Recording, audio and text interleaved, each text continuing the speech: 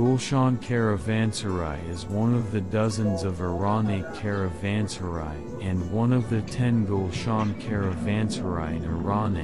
which was built at the end of the Safavid period of the beginning of the Qajar period for the purpose of trade and relaxation of travelers and businessmen.